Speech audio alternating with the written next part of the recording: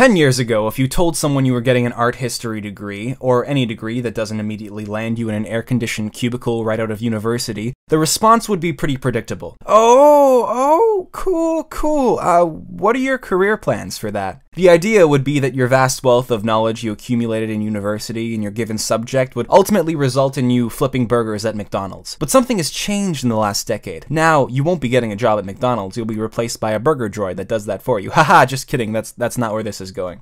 The idea before was that you were a hopeless fool who needed to be broken in by reality before you came to your senses and got a real degree like computer science or something. And for all intents and purposes, that conventional wisdom was right. But something weird happened. Something very weird. Something that practical knowledge hasn't really caught up to yet. And that weird thing is this. When it's time for me to relax, I don't turn on the television. Nobody does that. I open my laptop, go to YouTube, browse through my subscription feed. And I don't know about you, but my subscription feed on a casual glance looks like this. We have philosophy majors explaining the ethical questions raised in television shows. We have animators explaining the mechanics of what makes good animation between animations of their own, which have been more interesting, more valuable, or more monetizable. Which is to say, if you're adept at turning the English essay into a video essay, if you're half decent at editing, heck, if you're really good at playing video games or even are just average but have an appealing personality, you can make money doing what you love. It's not guaranteed, heck, it's still not even likely, but you have less of an excuse than ever not to follow your dreams, provided you put Logan Paul in the title of your video. Which is why degrees that represent what people love, rather than what people think will make them the most money, now actually contain some amount of value if well applied. Underwater basket weaving is something that was condescendingly applied to degrees like art history and 1600s German polka that previously had no real life application. Nobody wanted to listen to you drone on about how 16th century Russian poetry really was very different from 17th century Russian poetry. Now make a YouTube video essay, talk really fast, use colorful metaphors, and slap some stock footage of polka on there and find some way to tie it to Donald Trump, and bam, you can literally reach more people than an entire television show. Whereas before, someone would have good reason for telling you you are never going to be able to monetize underwater basket weaving. Nowadays, people can ask themselves if they find value in watching someone underwater basket weave. And the answer to that question is yes, of course you want to watch someone weave a basket underwater. That sounds pretty cool. So imagine the confusion of people who 10 years ago were right in scoffing at people who followed their passion, rather than the economy, when the underwater basket weaver is now selling the baskets they weaved on Amazons, raking in YouTube ad revenue with their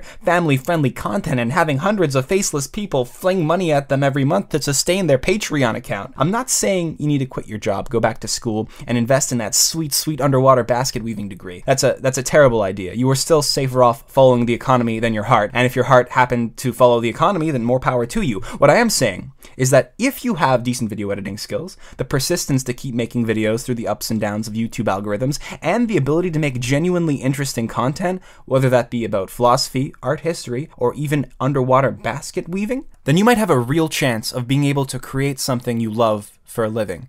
And it's a small chance, but it's bigger than ever. And I think that's amazing. Of course, this is all conjecture. I have 200 subscribers. Between all of my videos, I've made like 17 cents. So if you like this video, help me pursue my underwater basket weaving dreams and like the video. Leave a comment, maybe even backhand slap that subscribe button. I don't know, I'm not your boss.